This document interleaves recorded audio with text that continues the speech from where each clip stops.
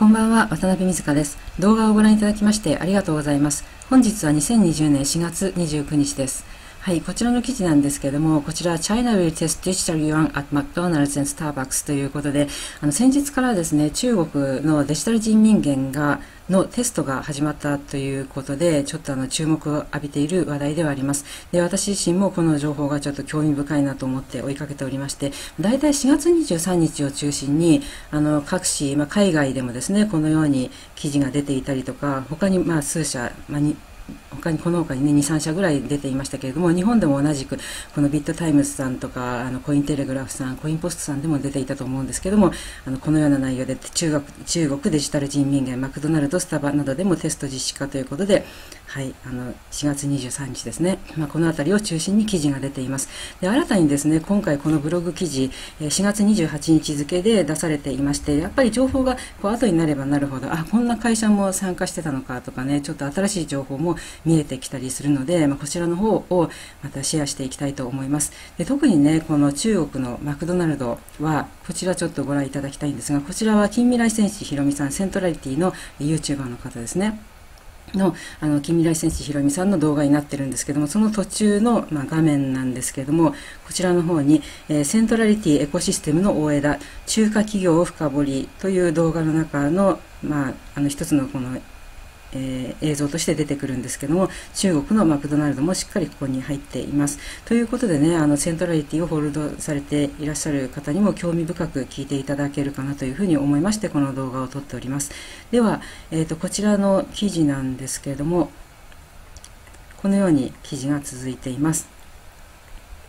はい、もうねたくさんこういろんな企業が出てくるんですけどもそれほど長くありませんので、ぜひお付き合いくださると嬉しいです。では、早速中身に入っていきましょう。まずタイトルです。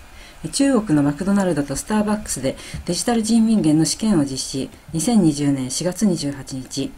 中国人民銀行が支援するデジタル通貨の試験が深セン市と蘇州市で実施される。このプロジェクトには中国交渉銀行、中国農業銀行、中国銀行、中国建設銀行の4行が参加する。また、携帯電話事業者では、中国、中、ごめんなさい、中国移動通信、中国電信、中国聯通と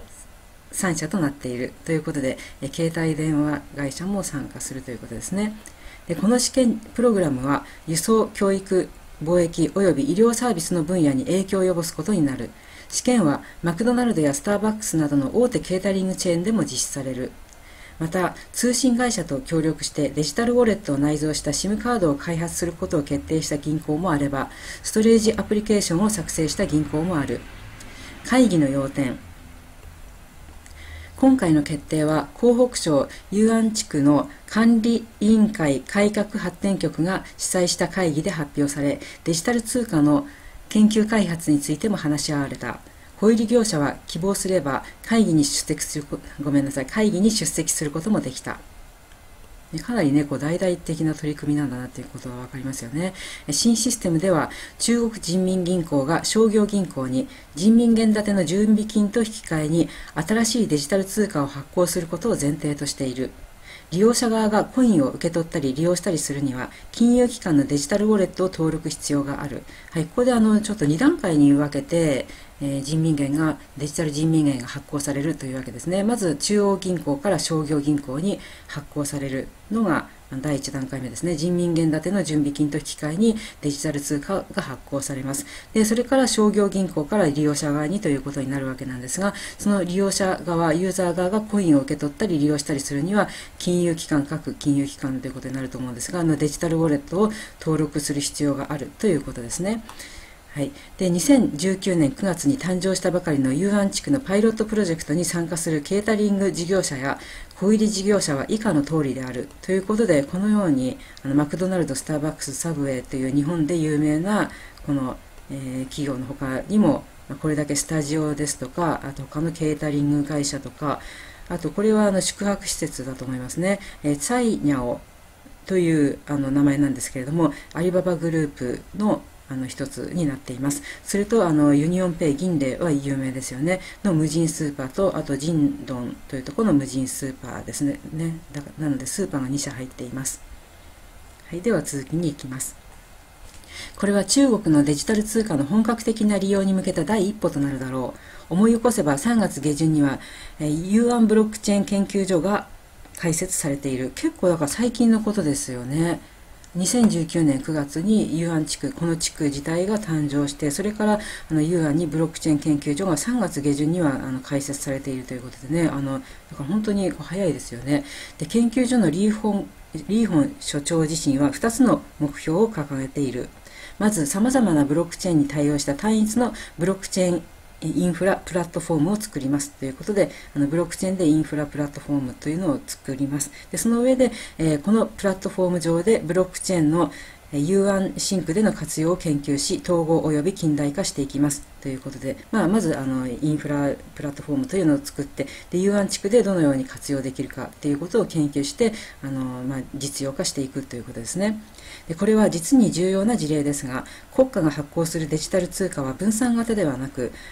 えー、国民の財政管理を強化することが狙いであることを忘れてはいけないというふうに言っています。まあ、つまりですね、あのこれは私たちが持っているあの暗号通貨とは違って暗号通貨は分散型ですよね。でもこのデジタル通貨っていうのはあくまでも国が発行するものであって国がその自国のえーと、通貨を保護するためとあとあの国民のその財政管理っていうのをさらに強化するためというふうな狙いがありますのでもうあの暗号通貨のそれぞれの、まあ、分散型を目指しているねあのそれとは全くまあ性質も狙いも違うということは忘れてはいけないことなんですがただ今回のあのデジタル人民元のあのまあ、実験の結果によって私はちょっとねいい方向に行くんじゃないかある意味ねいい方向に行くんじゃないかというふうに思ってましてまずこれにはあのブロックチェーンを活用するわけですよね。でブロックチェーンを活用するにあたってこれまでだったらちょっとねあのビットコインってちょっと怪しいよねとかあのもうブロックチェーン自体が何だろうねっていう感じだったものが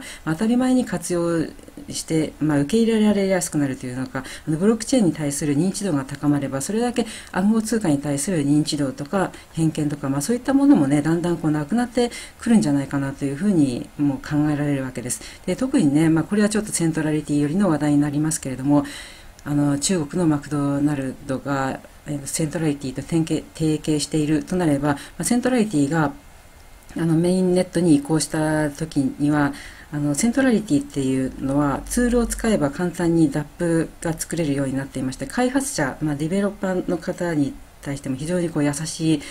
エコシステムになってると思うんですね。で、そこで簡単にあのアプリを構築できるとなれば、マクドナルドもきっとね、あのそのように、うん、してくるんじゃないかと思いますし、まあ、中国の方はね、あの自分の国の通貨ですからデジタル人民元を使うようになったとしても、あの